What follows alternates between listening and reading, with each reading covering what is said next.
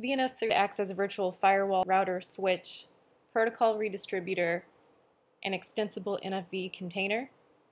Today we'll start by creating our VPC environment for VNS3 and then from EC2 we will launch a VNS3 controller and then initialize and configure it with the basic settings. If you need help along the way, at any point please check our website at cohesive.net and you can follow the support to documentation and you'll find all of our configuration guides as well as configuration and administration guides for all current versions of VNS3.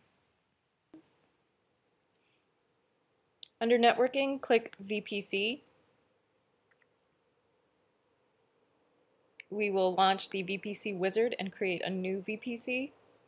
We recommend that you start with either a single public subnet or public and private subnets. No matter what kind of topology you're creating, VNS3 will always need a public subnet. VPC CIDR and VPC subnets cannot overlap with your VNS3 subnets. So we'll make sure to do 173.31.2.0 slash 24 for our CIDR subnet.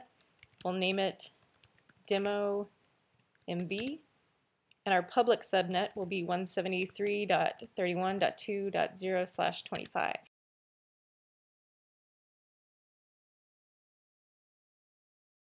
Here are the network ACLs created by our wizard. You'll notice that all inbound and outbound rules are open. We recommend that you leave it open while you're configuring, and then later you can lock down your network ACLs to fit your use case. Next, for security groups, You'll have the default security group set up from the wizard. It currently allows all in the same security group. We're going to go in and add custom TCP rule from port 8000, your IP address. We'll find that out by going to whatismyipaddress.com. We also recommend custom UDP port 500 from the IP address of your data center based device or other endpoint. So we'll make it up and call it 1.2.3.4 slash 32.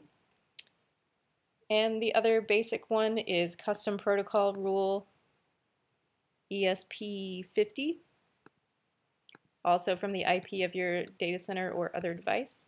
Some optional rules are TCP 8000 from the IP address of your other VNS3 devices that you plan to mesh together and you'll need to add UDP 4500 for if you plan to use NAT traversal, and UDP 1195 through 1197 for other VNS3 devices in separate VPCs that you plan to connect.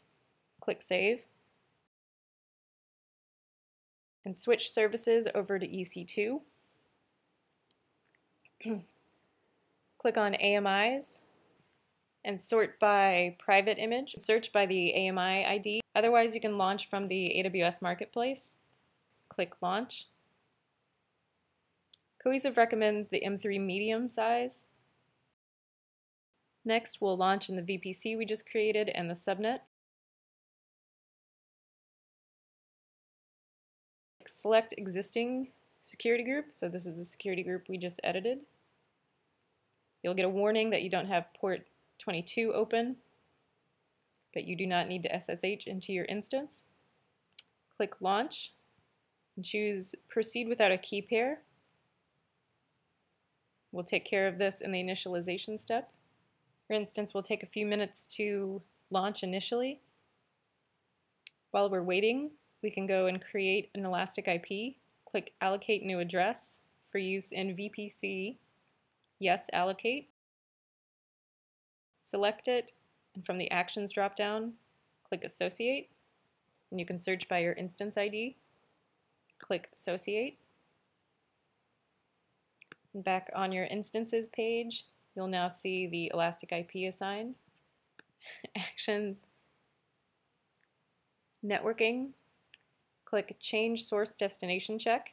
We're going to disable this. And once our instance has fully launched and configured, grab the public DNS name, open a new tab, and type in https colon slash slash, paste your DNS, colon port 8000 for 8000 access.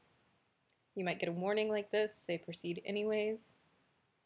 and you'll be asked for authentication. Your username is VNS cubed and the password is your instance ID.